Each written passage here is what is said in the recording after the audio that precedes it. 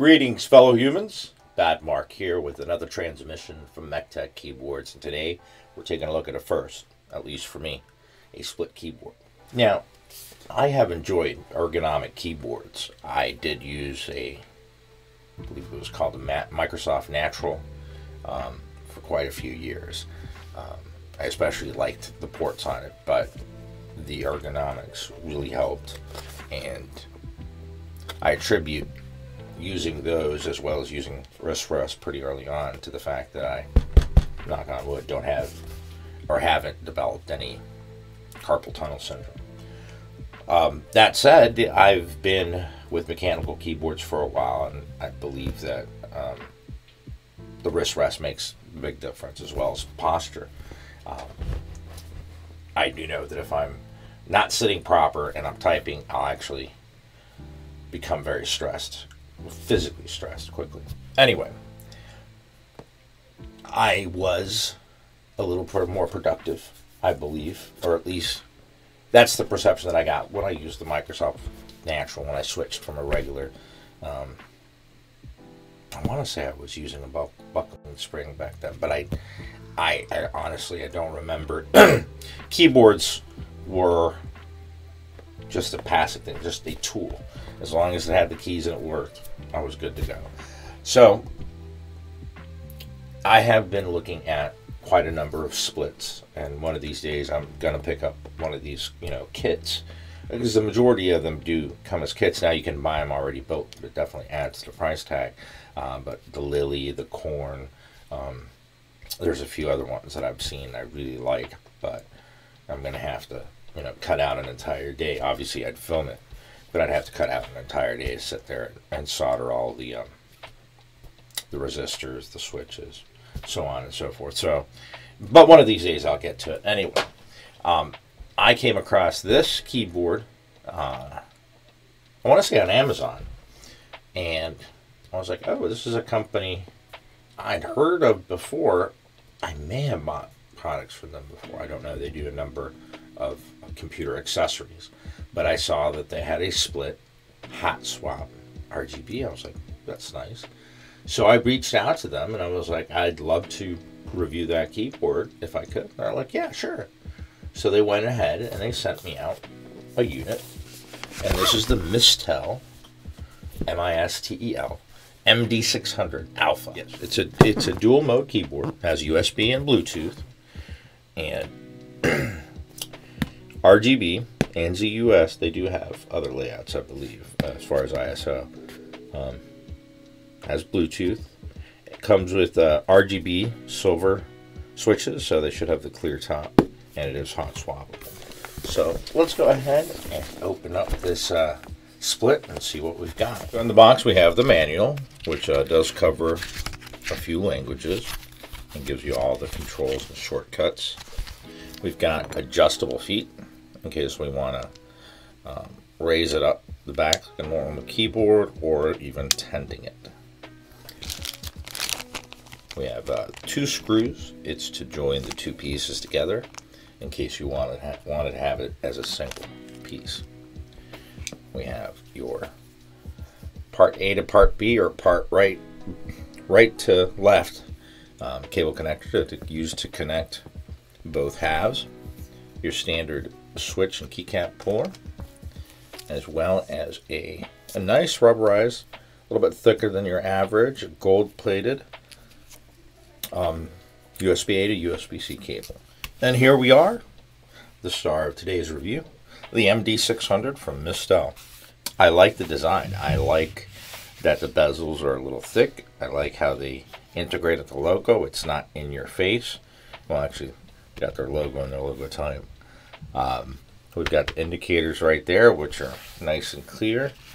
And we've got the connectors. So each one has a connection. So you can connect either half to the PC. And then the middle ones are for connecting the two halves. Uh, taking a look at the halves, we can see, yeah, there's the screws for in case you want to join these two together. This one goes to the bottom, this one goes on the top. The put the screws in. And now these uh, dip switches are for how some of the keys function um, between Mac and Windows mode, but I believe that the default setting was fine by me. So I do believe too that you could, uh, maybe not, I'm wrong. I was thinking perhaps it had a way for you to just screw one and be able to just like turn it, but it's either together or apart. So we do have some uh, shine through keycaps here.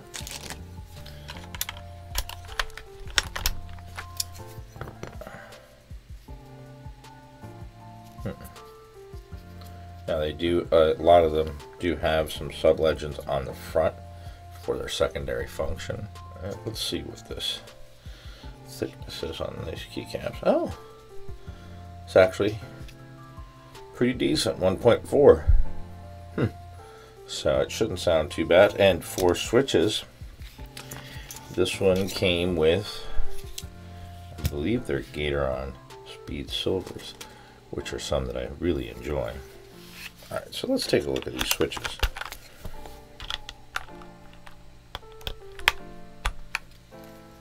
Alright. Gateron Silvers. sound lovely. I like, I like the tap of them. They're a little too light for me to use every day, but I do like them. Um, now, one thing that I noticed, I'm almost positive the Gateron silvers I have are five leg, um, but these only have three. But so does the PCB. Now, 2023 only having three pin compatibility, forcing users of any switch that has five pins to have to cut them off. Uh, that's just kind of a that's a letdown. Uh, I'll be honest. Let me see what we got. We do seem to have a nice, appears to be a Poron material between the plate and the PCB. But the bottom of the case appears to be hollow. Hmm.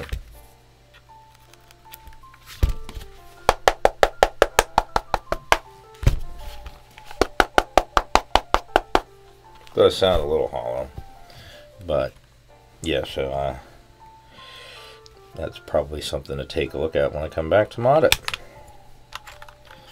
Alright, so let's take a look at one of these stabilizers, see what they look like.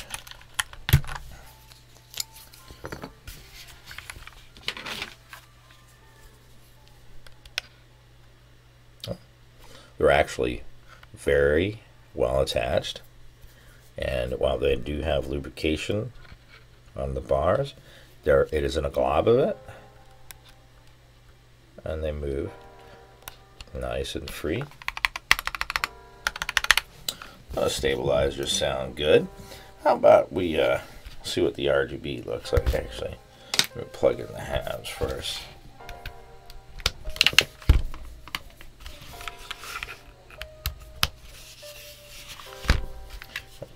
see here.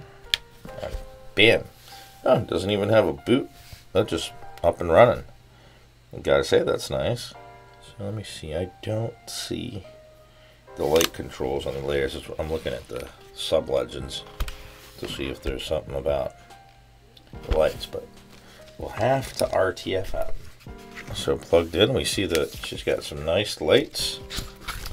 Let's see what we've got as far as controls for the lights so we can play around with that for a second. Yes, the light on here isn't very bright.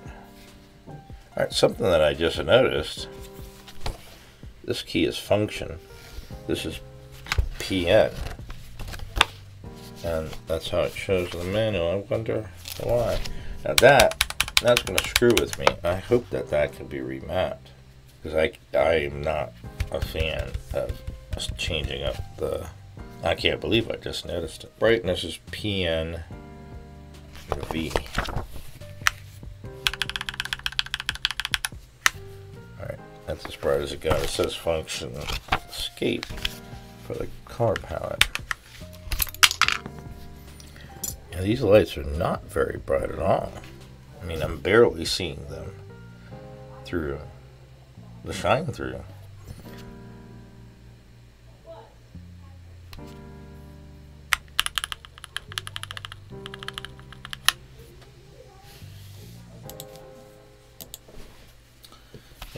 Gotta say, I'm not impressed with the brightness of the RGB, and I'm kind of just of the opinion that either bring the RGB or just have no RGB.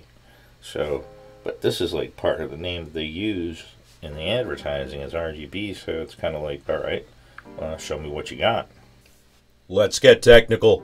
Today we are taking a look at the Mistel MD600 Alpha RGB.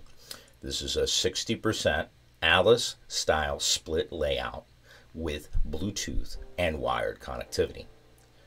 This keyboard comes weighing in at 795 grams, with the left side weighing 401 grams and the right side weighing 394. While sitting on a flat surface, the chin of the keyboard sits at 20 millimeters, while the back sits at 28 millimeters, providing for a default typing angle of 6 degrees. Attaching the magnetic feet to the back will add 10 millimeters, increasing the back height to 38 millimeters and providing for a 12 degree typing angle. When moving the feet over to tent, you get a 4 degree tenting angle. These do come with double shot PBT shine through keycaps that come in measuring 1.4 millimeter body. It includes a 2000 milliamp hour battery, and has a 1000 hertz polling rate when connected over USB C. It does come with your choice of Gateron G Pro switches, though the hot swap sockets on this PCB are 3 pin only. This keyboard retails for $149. So today we took a look at this split Alice style keyboard from Mistel. Um, now, to be quite honest, I mean, for the price, for what it offers, I don't think it's that bad of a of a deal. I do know there's kits out there, but not everyone has the time or wants to sit and, and solder an entire kit. Though, I, like I said, I I do plan to get some split key kits in a, in the future. But $149, you do get a decent keyboard. Now, it doesn't sound bad but it's also not very inspiring. It's almost flat. It's um, it doesn't have much character to the sound. Another thing that just kind of irks me about this keyboard, I mean, besides the RGB being, I mean, extremely weak. I mean, it's, it's at the highest position or at the highest brightness and barely see it. This is this is probably the dimmest lit RGB keyboard I've dealt with. I don't know if it's just this particular unit or if just that's how they make them. But to me, honestly, one thing that's a cardinal sin and makes it to where honestly I can't use the keyboard to work. It just I cannot use the keyboard. If the corner key is something other than control or the left corner key, um, I'm just not going to. I just got done doing the typing test and I was like, why is this not working? That's why. I, I you guys want to change stuff on this side of the keyboard? Okay, but this stuff has got to remain. It's just, I, I, I, I don't know. I, um, I don't know. It, and it, that can't be remapped. So it's like, you live with it. Uh, so that, that is what makes this keyboard one that I cannot do it, use it as a daily driver. I, I've had other keyboards that are like that. I just end up giving them away because I can't, I can't use them and I can't rightfully sell it to somebody because it's like you're gonna have to relearn because despite all keyboards since the 80s basically having you know similarly and some didn't have the windows key i know but we had the control key right there. Um, some companies decide let's make that the function key. And honestly i i don't get why and the fact that it cannot be remapped, though it says on the website that keys can be remapped. Um, manual doesn't say anything, online doesn't say anything. If there's a way to do it, I don't know. I mean, you could switch it to different layers, but they're profiles, they're not layers. So, but putting that function key there and then making this one PN. What does PN mean? Punction? Punctuate? I, I just, I, I don't know. And it's not like the book tells you. much. I mean, they don't even show you how to use the screws. I know that, that that's simple. We know how to use screws, but I'll include a picture of it. What are the feet for? These two extra feet, or is there any way other to use them? So I, I, I don't know. And three pens in 2023. Three pens. I mean, seriously? I don't know. So yeah, well, this keyboard doesn't sound bad. Um, it's just kind of flat, a little uninspiring. It, it's lacking tone or life.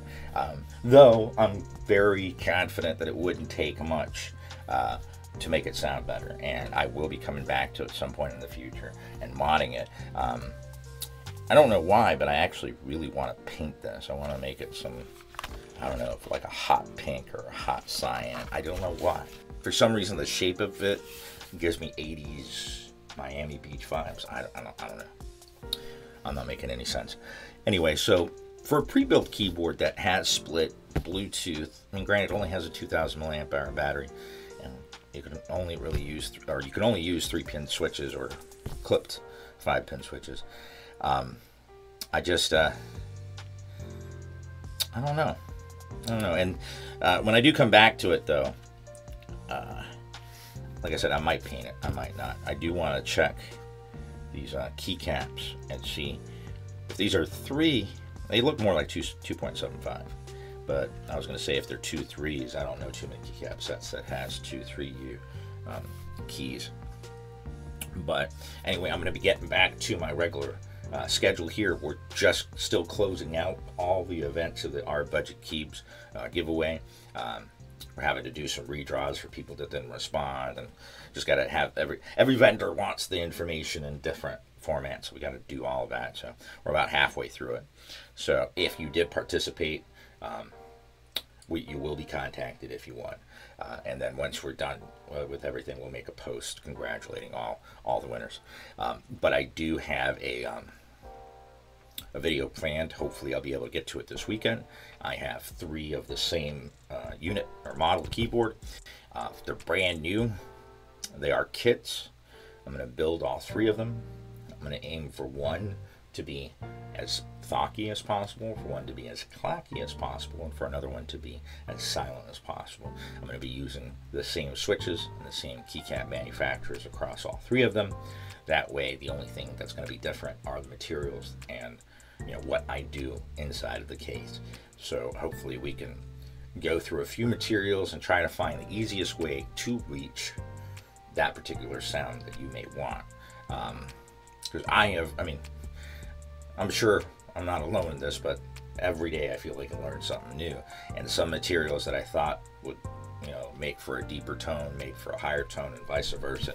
So I just want to go through that and because I mean that's one of the biggest questions. How can I make my keyboard sound like?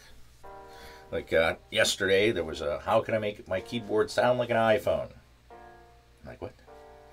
And apparently they met the the the typing noise, the the notification sound that it makes when using the keyboard, which is more of just that marbles. And for that, I mean, honestly, make the keyboard as hollow as possible and get those tippity tap, those those very high pitched, loud um, linears that have like 3.4 travel or 3.6 travel, a total travel, and I think those give you that more like just like sounds like marbles falling on like a ceramic floor or something. But I don't know. So that I got that planned, but I do have uh, a stack of units to review. So there will be a few reviews upcoming, but I'm gonna, like I said, I'm going to try to do that three keyboard in the middle there. Uh, but because of the giveaway and everything else. I'm not making excuses, just giving you a report.